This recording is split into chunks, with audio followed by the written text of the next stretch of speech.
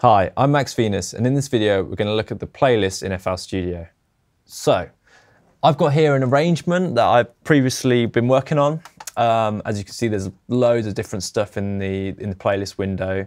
Um, you can uh, basically you can control it by zooming in and out. You can hold control and scroll the mouse wheel, or you can move this bar at the top and you can extend it or stretch it to fit where you need to be viewing on the screen. Um, so there's some basic navigation tools. So you've got the bar at the top here that I've talked about. On the right hand side, just in this corner, there's the, the option to expand it so you can make it bigger in that way.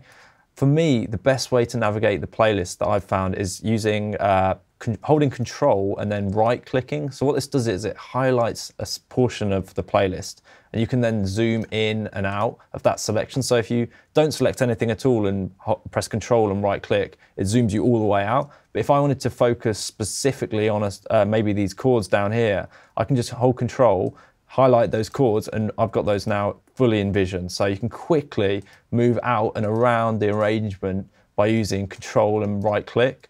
So it's a real good tip to use that one.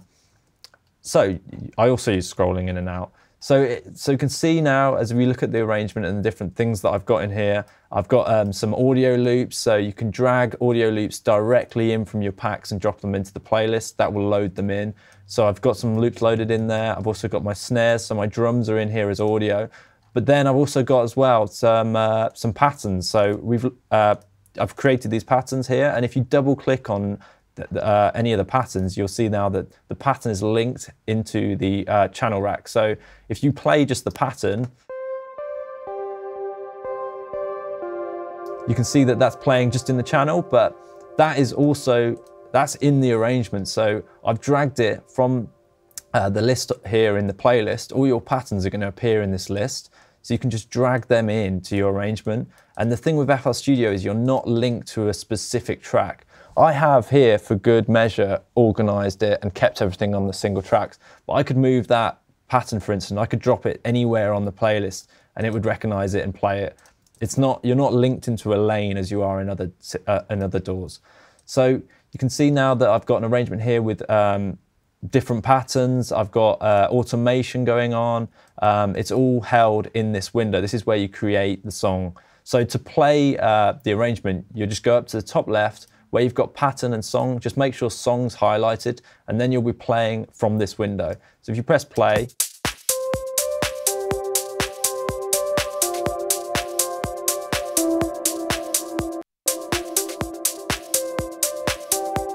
And you can see the songs developing over time due to the automation. And this is how we create more of an advanced song and we introduce elements So on the left-hand side, as you as you added uh, instruments in, you're going to find uh, all of the patterns by clicking on this uh, this little keyboard icon. Uh, that's where all the note information is held. So any of those patterns you've created in the piano roll, they're all held there. Any audio data you've got in the project uh, is going to be found under here, so you can quickly drag in and access it there.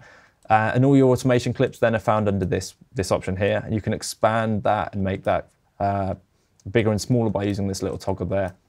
Um, and looking at, at the top right now, uh, you've got the magnet tool. So this selects how, um, so basically it affects the grid on the, uh, on the playlist. Let's make the playlist full screen now for this. Um, so you can see that as I move this clip around on the playlist, it's snapping to the grid. So you can change that by selecting the different options in here if you wanted to. Um, alternatively, you can just uh, select uh, anything on the playlist and hold Alt. And as you hold Alt, that's going to move it completely off the grid. So if you wanted to fine tune something, you can just hold Alt and you can move it around the playlist at free will. And then it, it is, of course, still stuck on the grid if you don't hold Alt. So you've got the ability of moving off and on the grid quite easily there without having to maybe change the, the uh, actual snap of the grid.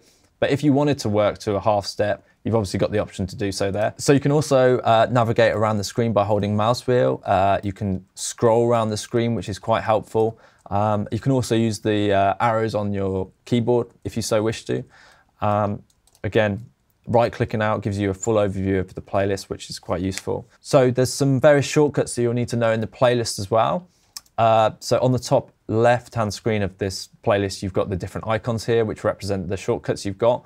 Um, an important note to important thing to note is that this, these uh, shortcuts that you've got for the playlist only register if you've got typing to keyboard off. So if you've got the MIDI coming out of your keyboard, like I've selected here, the shortcuts that I want to show you will not work if you've got that option enabled. So you want to make sure that that's turned off if you want to use these shortcuts.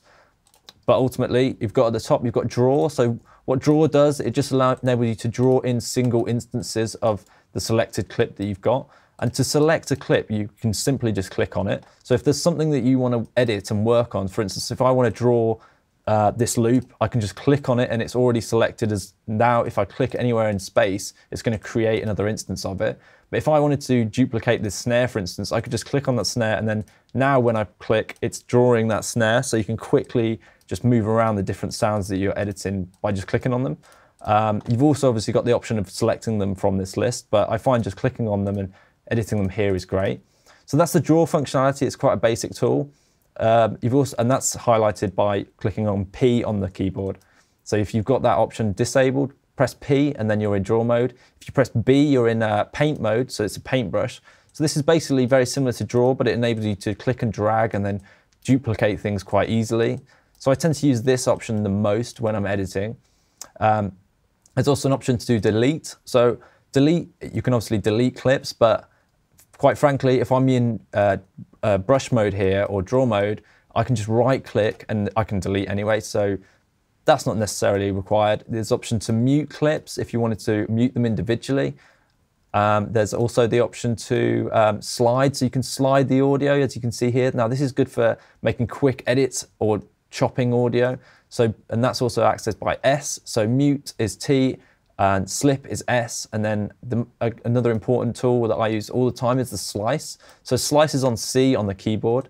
Um, so you, by default, the slice tool kind of gives you this diagonal editing. So you can you can you can you can zoom in here and you can see that I'm chopping different sections off grid. But to uh, to avoid that and basically use it more effectively, you want to hold shift, which creates a straight line with the, with the uh, slice tool. So holding shift and moving across the grid now enables you to slice uh, exact more precisely and, and, in a straight manner that you would want to. So um, you can also slice off grid if you hold Alt and uh, Shift. It will enable you to slice off grid so you can quickly get in there. And again, just coming back to right clicking and uh, zoom. So if you hold control and right click, you can really get close into the audio with the slice tool enabled, and you're able to then make some fine adjustments and cuts here. So, and then you can, if you uh, also, if you hold right click instead of left click, if I were to select a piece of audio, let's just undo that, sorry. So now I've got no cuts in my audio. If I hold, um, if I hold, if I right click, sorry, and press shift, the, the smallest part of the audio that I'm editing is going to be instantly deleted. So if you wanted to come in and make some quick adjustments and chop some chop some audio, you can just hold um, Shift and right click to quickly delete things, uh, saving you going uh, back to the draw tool, cutting it, deleting it. You can quickly do that from the slice tool, so that's real useful. Um, just touching on the undo functionality in FL, it's a little bit different.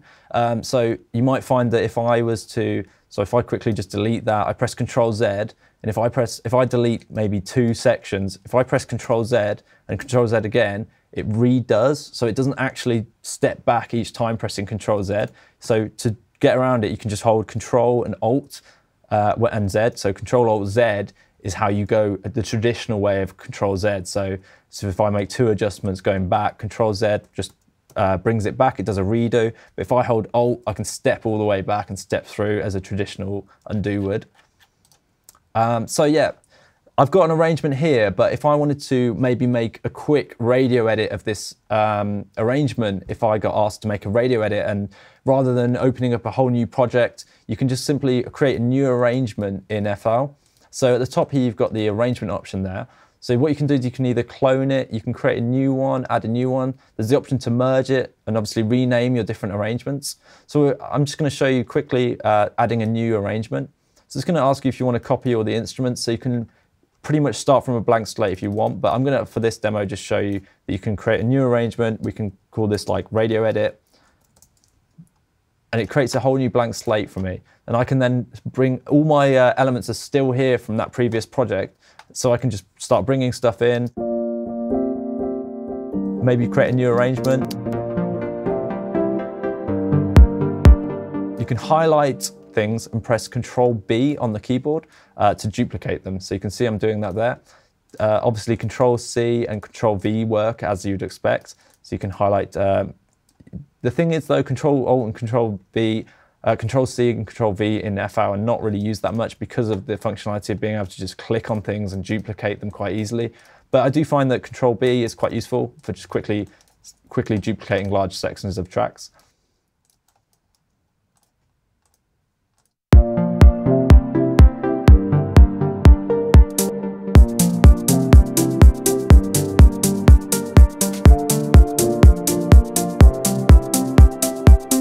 Now you can see I've just duplicated these instances as well. So to do that, you just highlight whatever you want to duplicate and hold shift. It will then create an, a duplicate and allow you to just move it along the playlist. So you can create quickly, if, you if you're working in audio, you can just quickly duplicate things by holding shift and dragging them around the screen.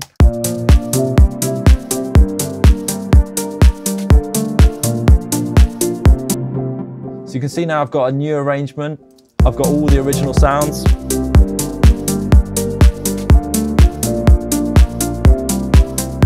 Really useful tool for creating quick edits, trying out ideas, maybe a slight different change to the arrangement. You've got an idea for a different build-up. You can quickly implement that and flick between the two ideas uh, just by selecting the different arrangements. So we go straight back to my original arrangement, arrangement and everything is still there as I left it.